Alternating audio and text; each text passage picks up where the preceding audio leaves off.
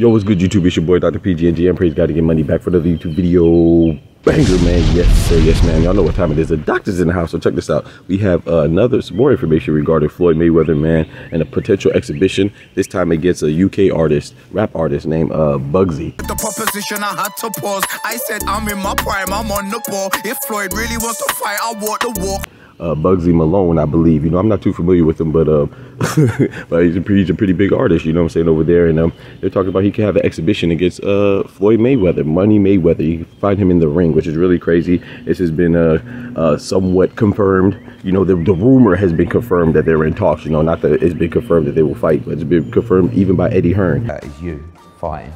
Oh, really?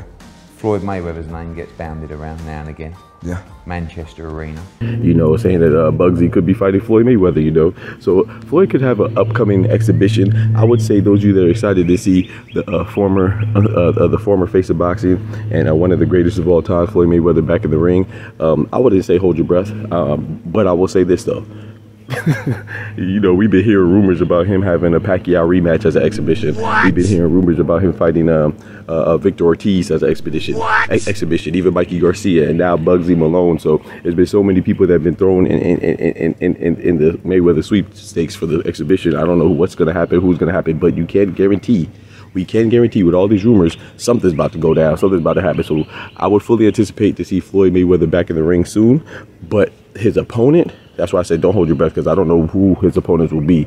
You know, if it's his uh, Bugzy UK artist, I'll watch it. You know, whoever it is, man. But y'all let me know who y'all want him to see. Uh, who do you want to, Floyd, to see Floyd Mayweather in the ring against? You know, you, who would you rather see out of those?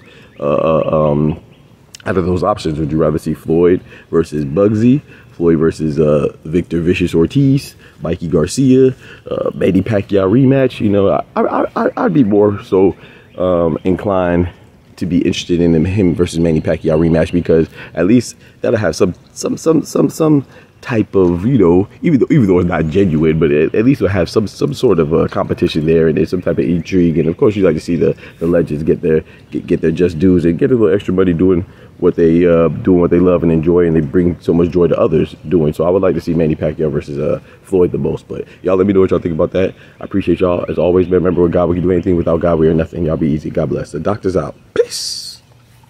From the hood to college, both worlds they had to meet. Six degrees between us, so cold we're about to freeze. But with Florida boys, hot takes, we bring the heat. We're moving the culture, the engineers to the streets.